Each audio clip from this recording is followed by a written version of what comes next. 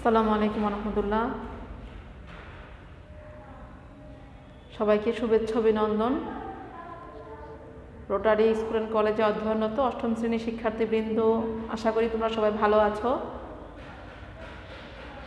আশা করি যে তোমরা স্বাস্থ্যবিধি মেনে বাসা অবস্থান করছ এবং বাইরে বের হলে অবশ্যই মাস্ক ব্যবহার করছ। যে বিধিগুলো তোমাদের বারবার বলা হচ্ছে, বাড়ি থেকে ঘরে গেলেই হাত ভালোভাবে সাবান দিয়ে হাত পরিষ্কার করা স্যানিটাইজ করা, এই কাজগুলো তোমরা অব্যাহত রাখবে। সিচুয়েশনের প্রেক্ষাপটে আসলে আমরা বুঝতে পের- পারছি যে আসলে আমাদের এই এই দুর্যোগের টাইমে এটাকে কাটিয়ে ওঠার জন্য এটাকে নিয়ে চলতে হবে স্বাস্থ্যবিধি মেনে। প্রথম দিকে আমরা যে যতটা আতঙ্কিত ছিলাম, আমরা এখন এই বিষয়ে এতটা আতঙ্কিত নই। আমরা বিষয় সম্পর্কে অনেক কিছু জানতে পেরেছি যে কীভাবে সামাজিক দূরত্ব বজায় রাখতে হবে কীভাবে আমাদের পরিচ্ছন্ন থাকতে হবে কীভাবে আমাদের আহ, সবসময় বাইরে গেলে মাস্ক ব্যবহার করতে হবে এই বিষয়গুলো আমরা জানি বলে আশা করি যে আমরা এই বিষয়ের সাথে মানে এই ভাইরাসের সাথে আমরা অ্যাডজাস্ট করতে পারছি। তো স্কুলে তোমাদের সরাসরি এখনও সম্পৃক্ত করার নির্দেশ না দেওয়ার কারণে তোমাদের সাথে আমরা পরোক্ষভাবে তোমাদের পাঠদান থেকে যেন পিছিয়ে না থাকো সেই জন্য আমরা বিভিন্ন রকমের ব্যবস্থা নেওয়ার চেষ্টা করছি। আশা করি তোমরা আমাদের সাথে থাকবে এবং ঘরে বসে থেকে স্বাস্থ্যবিধি মেনে তোমরা পাঠ গ্রহণ করার চেষ্টা করবে। তো এই যে তোমাদের সাথে আমি কথা বলছি, তোমাদের সাথে সরাসরি ক্লাসে নেই, তোমাদের আমি দেখতে পাচ্ছি না, পড়া ধরতে পারছি না, কাজ করতে দিতে পারছি না, কিন্তু তারপরেও তোমাদের সাথে আমার একটা যোগাযোগ আছে। এই যোগাযোগের নাম কি? নিশ্চয়ই তোমাদের মাথায় কাজ করছে, কিন্তু সরাসরি বলতে পারছ না, কিন্তু সবার ব্রেনে আছে এবং হয়তো মুখ দিয়ে কেউ বলেও ফেলছো যেটা হচ্ছে তথ্য যোগাযোগ বা এটা হচ্ছে ইন্টারনেট ইন্টারনেট কানেকশন আসলে নেট কানেকশনের মাধ্যমে আমাদের এটা সম্ভব হয়েছে। আর এই কানেকশনটা এমন একটা কানেকশন যেটার মাধ্যমে তুমি যদি এখন বাংলাদেশে না থেকে পৃথিবী, আমার এই দেশের ঠিক অপর প্রান্তে আমেরিকায়ও থাকতে, তাহলেও তোমার সঙ্গে আমার যোগাযোগ করা সম্ভব হতো, এত দূরত্বের কারণেও। এর একটাই অবদান বা একটাই হেল্প আমাদের সেটা হচ্ছে কি ইন্টারনেট কানেকশন নেট কানেকশন যোগাযোগ প্রযুক্তি। অর্থাৎ টেকনোলজি এতটাই এখন এগিয়ে যে তুমি যত দূরেই থাকো না কেন তোমাকে আমি দেখতে পাচ্ছি, কি করছ বা তুমি আমাকে দেখতে পাচ্ছ যে আমি কি করতেছি, কীভাবে কথা বলতেছি, কি তোমাকে মেসেজ দিচ্ছি, কি তোমাকে শেখাচ্ছি, তুমি ঘরে বসে থেকেই জানতে পারছ একমাত্র এই নেট কানেকশন বা ইন্টারনেটের মাধ্যমে।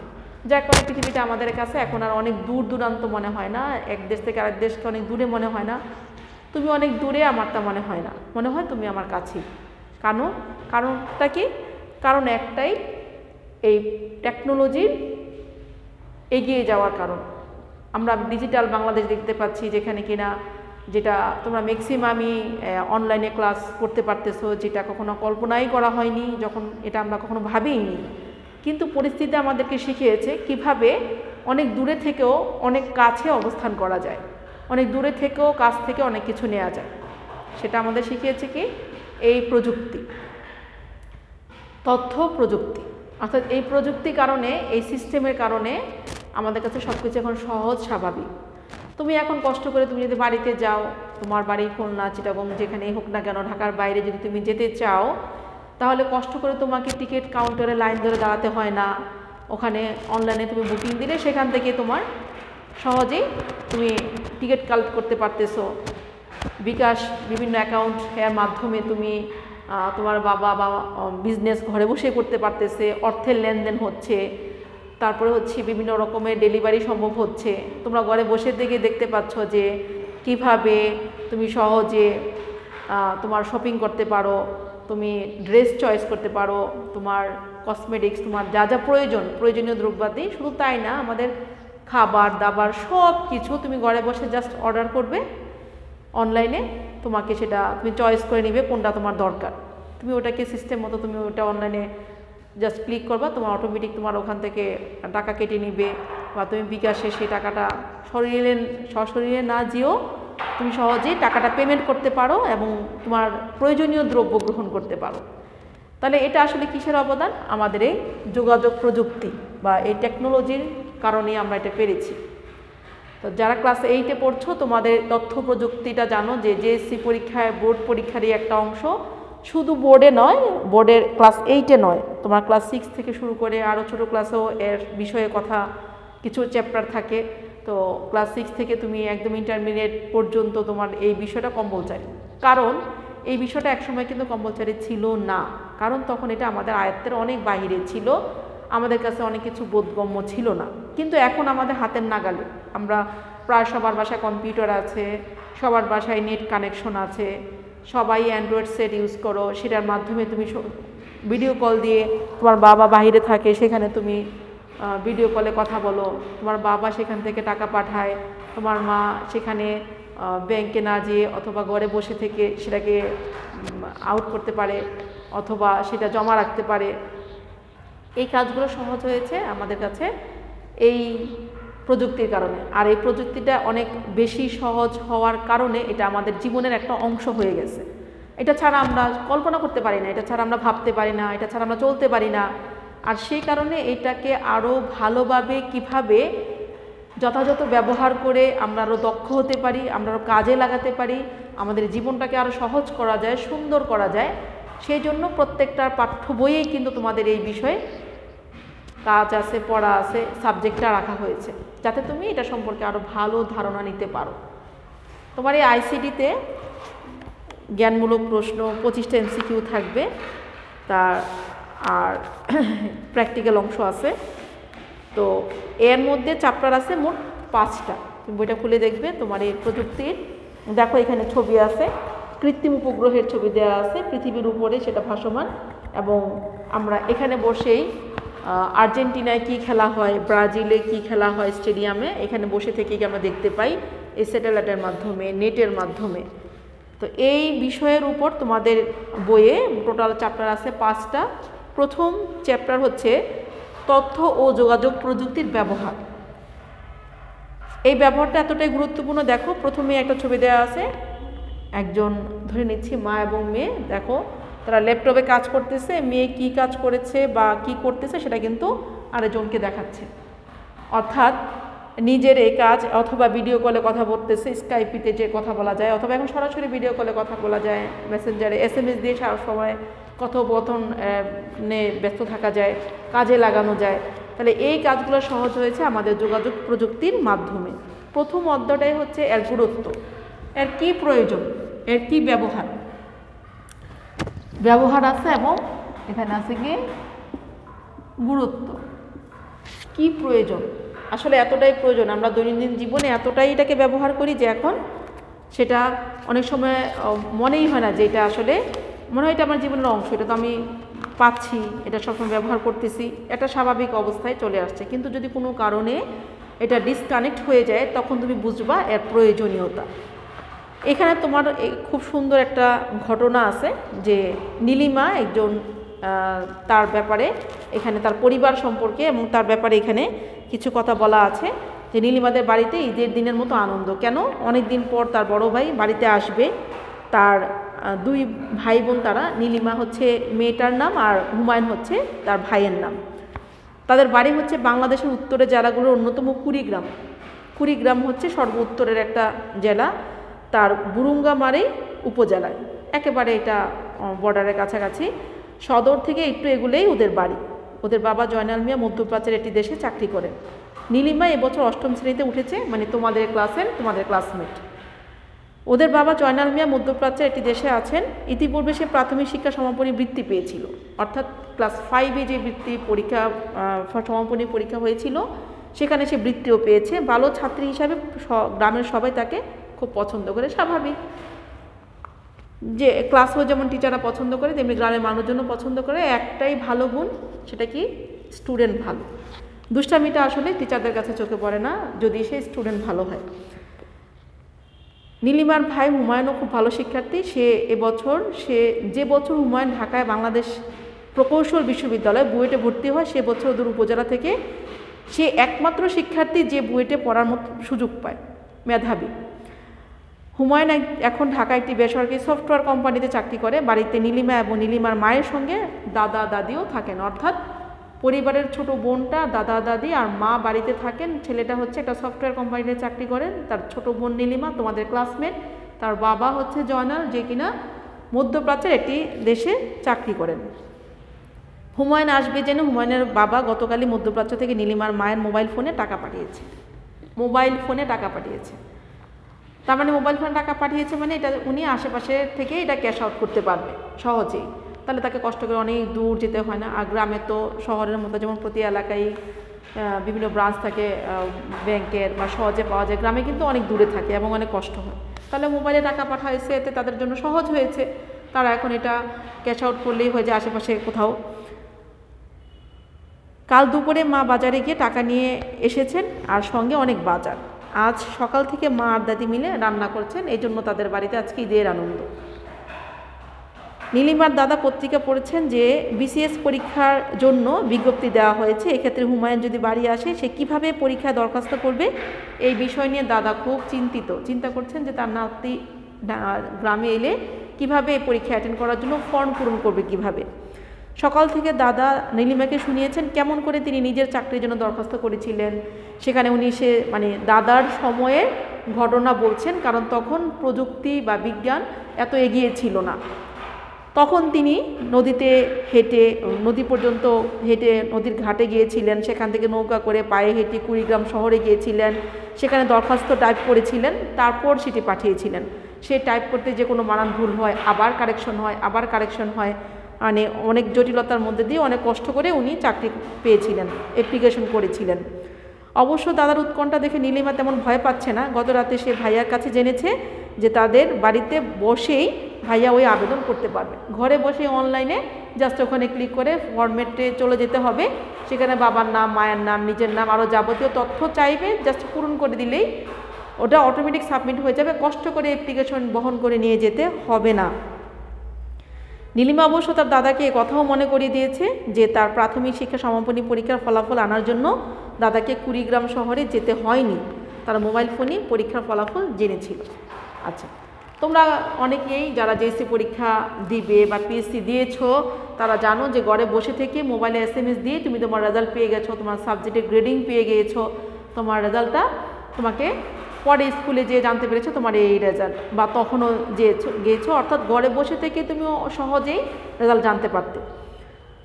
বাড়িতে ঢুকে হুমায়ুন প্রথমে তার দাদাকে আশ্বস্ত করল যে তার ল্যাপটপ আর মডেমের সাহায্যে ইন্টারনেটে প্রবেশ করে সে বাড়িতে বসে আবেদনটি পূরণ করতে পারবে। শুধু তাই নয়, তার ঢাকা ফিরে যাওয়ার ট্রেনের টিকিট কিন্তু কাউকে আর স্টেশনে গিয়ে লাইন ধরে দাঁড়িয়ে থাকতে হবে না, যেটা তোমাদের আমি প্রথমে একটা উদাহরণ দিয়েছিলাম। রাতে খাওয়া দাওয়ার পর হুমায়ুন তার ল্যাপটপের সঙ্গে মডেমটি লাগিয়ে নিল। তারপর আবেদন প্রক্রিয়াটি সম্পূর্ণ করল। তার মানে কষ্ট করে তাকে কাগজে লিখতে হয়নি, কম্পোজ করতে হয়নি, অনেক জটিলতা পোহাতে হয়নি। সহজেই সে কাজটা করেছে। তাহলে এবার সবাইকে চলে, সবাইকে নিয়ে চলে গেল এক নতুন দুনিয়ায়, যেখানে তথ্য, যোগাযোগ প্রযুক্তি কেমন করে পৃথিবীকে নানাভাবে বদলে দিচ্ছে। দেখো এখানে দেওয়া আছে, একটা ছবি দেওয়া আছে যে বাংলাদেশ সরকারি কর্ম কমিশনের এখানে যা আছে তথ্য সেই অনুযায়ী কিন্তু সে তথ্য পূরণ করে তার ফর্মটা পূরণ করা হয়ে গেছে। কর্মসৃজন ও কর্মপ্রাপ্তিতে তথ্য ও যোগাযোগ প্রযুক্তি। কর্মসৃজন, অর্থাৎ আমি সৃজনশীলতা আমার মধ্যে তোমরা পড়ালেখা করতেছো সৃজনশীল পদ্ধতিতে। কীভাবে নতুন নতুন বিষয় উদ্ভাবন করা যায়, কীভাবে নিজের ব্রেনটাকে, নিজের মেধাটাকে কাজে লাগিয়ে নতুন কোনো তথ্য পাওয়া যায়, সেটা আমরা ইন্টারনেট থেকে ভাবতে পারি যে বিজনেসের ক্ষেত্র, অনেক রকমের ক্ষেত্র ই কমার্স যেটা সেটা এত বেশি এখন ব্যাপক যে কষ্ট, কেউ কর্মসংস্থান আমাদের অনেক বেড়ে গেছে এবং কর্মহীন মানুষের সংখ্যা এতে তারা সহজে নিজের জীবনটাকে বদলে দিতে পারতেছে, কাজে ব্যস্ত হতে পারছে এবং আয় রোজগার করতে পারছে। শুরুর দিকে ধারণা করা হতো, স্বয়ংক্রিয় এবং প্রযুক্তির প্রয়োগের ফলে বিশ্বব্যাপী কাজের পরিমাণ কমে যাবে এবং বেকারের সংখ্যা বেড়ে যাবে এমনটাই ধারণা করা হয়েছিল। কিন্তু পরবর্তী সময় দেখা গেছে যে তথ্য প্রযুক্তির বিকাশের ফলে কিছু কিছু সনাতনী কাজ বিলুপ্ত হয়েছে। বা বেশ কিছু কাজের দ্বারা পরিবর্তন হয়েছে। তবে নতুন অসংখ্য ক্ষেত্র তৈরি হয়েছে, কাজের সুযোগ সৃষ্টি হয়েছে। গবেষণা দেখা গেছে ইন্টারনেটের সংযোগ বৃদ্ধির সাথে সাথে কর্মসংস্থানের সুযোগও দ্রুত হারে বেড়ে গিয়েছে। তোমরা হয়তো ছোটোবেলা দেখেছ কি না জানি না। আমি আমার ছোটোবেলা দেখেছি যে আমার যখন এসএসসি রেজাল্ট আউট হয়, তখন ওইটা আমার বাড়িতে দাদা, দাদি, নানা, নানিকে জানানোর জন্য, মামা চাচাদের জানানোর জন্য প্রত্যেকের জন্য আলাদা আলাদা আমি হাতে চিঠি লিখেছিলাম যে আমার রেজাল্ট এই হয়েছে। আমি ভালো করেছি, তা ওনাদেরকে জানানো। যখন আমি রেজাল্ট এই চিঠি পাঠাই, তার প্রায় পনেরো দিন পরে তারা বাড়িতে চিঠিটা পায়। তারপর তারা জানতে পারে যে আমার এসএসসি রেজাল্ট কী হয়েছিল। আমাদের সময় জেএসসি বা পিএসসি ছিল না। তো এই যে লেন্দি সময় বা চিঠি লেখার সময় দিতে হয়েছে, কাগজ কালি ব্যবহার করতে হয়েছে, এখন কিন্তু কোনোটারই দরকার নাই। মোবাইলে জানায় দাও অথবা এস এম এসে জানায় দাও। এক সেকেন্ডের মধ্যে চলে যায় নিউজ তার মানে এখন আর সেই সময়টা, সেই সনাতন পদ্ধতি বা আগের নিয়মটা এখন আর নেই। তথ্য ও যোগাযোগ প্রযুক্তি প্রয়োগের ফলে উৎপাদনশীলতা বৃদ্ধি পেয়েছে, যা বাঙালি শিক্ষাবিদ ও বর্তমানে আমেরিকার ম্যাসাচুয়েটস ইনস্টিটিউট অফ টেকনোলজির অধ্যাপক ডক্টর ইকবাল কাদিরের মতে, সংযুক্তই, সংযুক্তিই উৎপাদনশীলতা। যত বেশি সংযুক্ত হবে, তত বেশি উৎপাদন বাড়বে, তত বেশি কর্মক্ষেত্র বাড়বে তত বেশি কাজের সুযোগ হবে, তত বেশি বেকারত্ব দূর হবে, কাজের সুযোগ বৃদ্ধি পাবে। প্রযুক্তিতে জনগণের সংযুক্তি বাড়লে উৎপাদনশীলতা বেড়ে যাবে, এর ফলে শুরু হবে নতুন নতুন কর্মসংস্থান। দেখো, এখানে কতগুলো পয়েন্ট তোমাদের দেওয়া হয়েছে যে বিশেষভাবে কিছু বিশেষ বিষয় আলোচনা করা হয়েছে। পয়েন্টগুলো হচ্ছে বিভিন্ন কারখানায় বিপজ্জনক কাজগুলো মানুষের পরিবর্তে রোবটের মাধ্যমে সম্পন্ন করা যেতে পারে। তোমরা রোবট দেখছ যে সোফিয়া নামক একটা রোবট আমাদের, আমরা দেখেছিলাম এক সময়। তো সেই রকম রোবট দিয়ে কি হয়? তাকে দিয়ে মানুষের যে কাজগুলো ঝুঁকি, মানুষের পৌঁছানো যাচ্ছে না বা মানুষের জীবনের ঝুঁকি, সেখানে কিন্তু রোবট পাঠিয়ে কাজটা সহজে করা যায় এবং জীবন রক্ষা করা যায়। কর্মস্থলে কর্মীদের উপস্থিতি, সময়কাল, বেতন ভাতা ইত্যাদি হিসাব করার জন্য অনেক কর্মীর প্রয়োজন হয়। স্বয়ংক্রিয় উপস্থিতি, যন্ত্র, বেতন, ভাতা ইত্যাদি সফটওয়্যারের মাধ্যমে এই সকল কাজ সম্পূর্ণ করা যায়। অর্থাৎ কষ্ট করে এখন আর কী করতে হয় না, কে কখন আসলো, না আসলো দেখতে হয় না। সেটাকে স্বয়ংক্রিয় পদ্ধতিতে পাঁচ করলে আঙ্গুলের ছাপ নিয়েই কয়টার সময় আসলো এবং কোন ব্যক্তি আসলো সেটা সিলেক্ট করা যায়। তাছাড়া এখন দেখো যে যে সমস্ত মায়েরা অফিস আদালতে কাজ করে, তখন তারা বাসায় দেখা যায় একটা সিসি ক্যামেরা ফিট করা থাকে, সেটা উনি ওনার কর্মস্থলে বসেই দেখতে পায় যে ওনার বাসার কী অবস্থা বাসা যারা আছে তারা কি করছে ওনার ছোট বাবুটা কি করছে। তাহলে এই যে সুযোগটা, এটা আসলে তথ্য প্রযুক্তির মাধ্যমেই পারা সম্ভব হয়েছে। অন্যথায় কিন্তু মা ওখানে চাকরিতে গেলে অনেক টেনশনে থাকে বা অথবা অফিস আদালতে কোন রুমে অনেকগুলো রুমে যখন কার্যক্রম চলে, তখন কোন রুমে কি হয়, তখন মনিটরিং সেন্টার যেখানে থাকে, সেখানে কিন্তু মনিটরিং সিসি ক্যামেরা মাধ্যমে তারা কিন্তু এক জায়গায় সবগুলা চিত্র দেখতে পায়। বিভিন্ন গুদামে মালামাল সুসজ্জিত করার জন্য এই স্বয়ংক্রিয়ভাবে এটাকে ব্যবহার করা যায়। টেলিফোন এক্সচেঞ্জে কম্পিউটার নিয়ন্ত্রিত ডিজিটাল ব্যবস্থার কারণে পৃথক জনবলের প্রয়োজন হয় না। নিয়ন্ত্রিত ডিজিটাল ব্যবস্থার কারণে অনেক মানুষের প্রয়োজন হয় না। কর্মক্ষেত্রে অর্থাৎ কম সময়ে কম জনবল ব্যবহার করে, কম মানুষ ব্যবহার করে বেশি পরিমাণে আমরা উপকার পাচ্ছি। ব্যাংকের এটিএমের মাধ্যমে কোন, যে কোনো সময় নগদ অর্থ তোলা যায়। স্বয়ংক্রিয় ইন্টার, ইন্টারেক্টিভ ভয়েস প্রযুক্তি ব্যবহার করে দিনরাত যে কোনো সময় গ্রাহকের নির্দিষ্ট প্রশ্নের জবাব দেওয়া যায়। এখানে এখানে পয়েন্ট আছে টোটাল ছয়টা, অর্থাৎ আমরা কোন কোন কাজের মাধ্যমে আমাদের দক্ষতা বাড়িয়েছি ইন্টারনেট বা তথ্য প্রযুক্তিকে ব্যবহার করে এর ছয়টা পয়েন্ট দেওয়া আছে।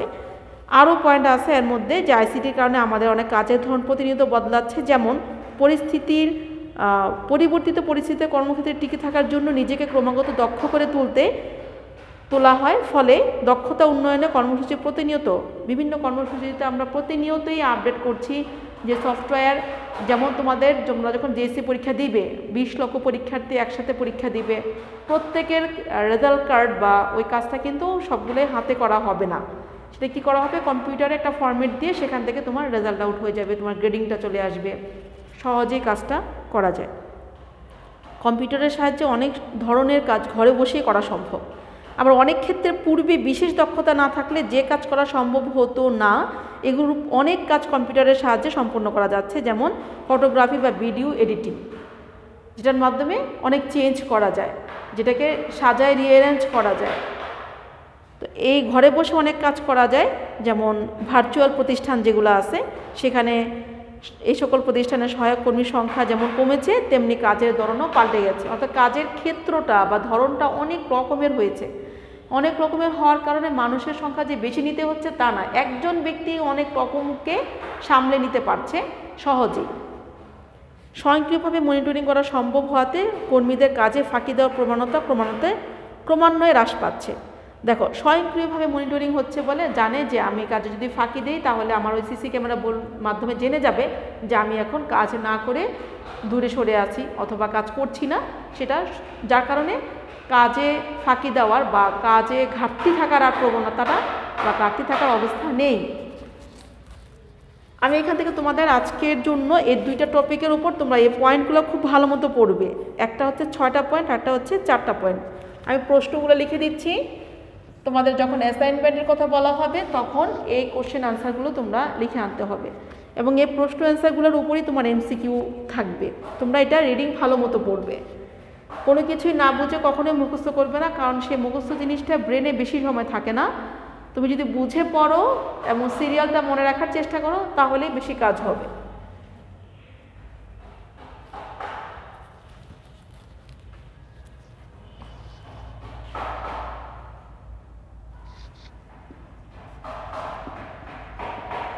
তথ্য প্রযুক্তির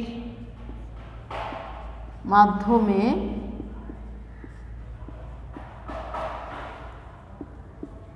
আমাদের দৈনন্দিন কি কি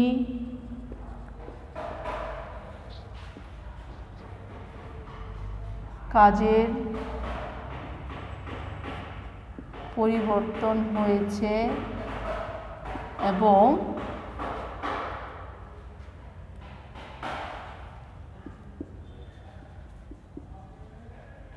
কোন কোন ক্ষেত্রে আমরা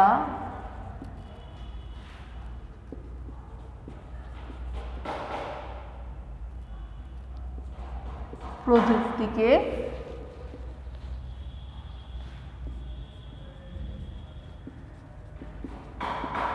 ব্যবহার করছি। তাহলে এই বিষয়টা যদি জানতে চাও আমাদের কি কি দৈনন্দিন কাজে, কি কি কাজে আমরা ব্যবহার করছি, এই পয়েন্টগুলো এখানে, এই যে এখানে টোটাল দশটা পয়েন্ট আছে, এই পয়েন্টগুলোর মধ্যে তুমি সব পেয়ে যাবে যে কি কীভাবে আমরা ব্যবহার করছি, কোন কোন ক্ষেত্রে ব্যবহারের কারণে আমরা সুফল পাচ্ছি, এই বিষয়গুলো তুমি কয়েকবার প্র্যাকটিস করলেই তোমার হয়ে যাবে। চ্যাপ্টার বইটা একদমই চিকন, তোমাদের সরাসরি আমরা আশা করি যে আগামী মাসে আমরা ক্লাস শুরু করতে পারব, তখন তোমাদের হাতে নাতে তোমাদের কিছু প্র্যাকটিক্যাল অংশ দেখানো হবে। আর যেই টপিকগুলো বলছি, এগুলো একটু ভালো মতো রিভিশন করবে, তাহলে তুমি এমসিকিউটা ভালো পারবে। তথ্য যোগাযোগ মূলত এমসিকিউই আসে তোমার পরীক্ষায়। তাহলে এটা পারতে হলে তোমার আগে বইটা ভালো পারতে হবে। বইয়ের বাইরে কোনো অ্যান্সার থাকবে না। বইয়ের মধ্যেই তুমি সব পেয়ে যাবে। তাহলে আজকে তাহলে এই পর্যন্তই। আশা করি নেক্সট ক্লাসে থাকবে এবং যা যা বলব তা নিয়মিত করবে। তাহলে তুমি একটা কাঙ্ক্ষিত লক্ষ্যে যেতে পারবে, একটা ভালো রেজাল্ট করতে পারবে। আজকে সবাইকে অনেক ধন্যবাদ সাথে থাকার জন্য। আশা করি নেক্সট ক্লাসেও তোমরা সাথে থাকবে এবং পড়া শুরু করার সময় বইটা সামনে রাখবে। সবাইকে অনেক ধন্যবাদ। আসসালামু আলাইকুম রহমতুল্লাহ।